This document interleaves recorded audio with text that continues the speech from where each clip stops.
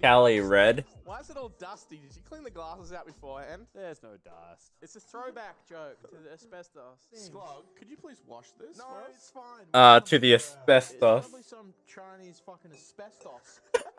the asbestos may kill us all.